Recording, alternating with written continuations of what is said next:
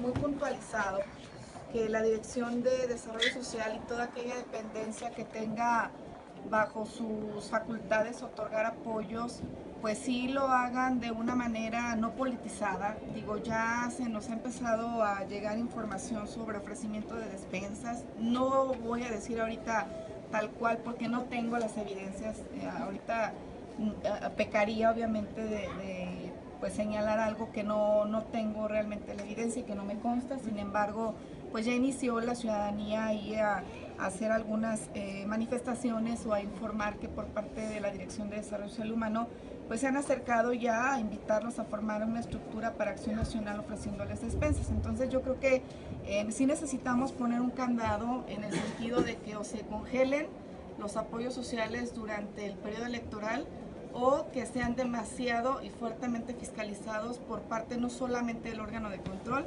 sino como por alguna comisión especial que nosotros aquí nombremos para que no se haga mal, mal uso de los recursos públicos en favor de un partido político.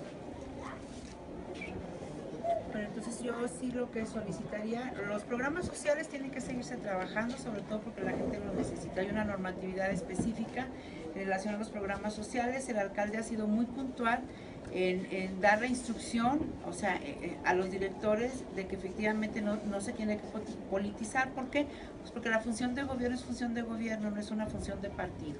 Eh, por otro lado, este, mm, a mí sí me gustaría de manera muy puntual, porque yo también he manejado mucho al exterior y demás, que cualquier persona que en algún momento dado se le esté entregando algún este recurso público, ya sea en despensa o en lo que sea, tienen que denunciar y fue mi postura muy clara la semana pasada.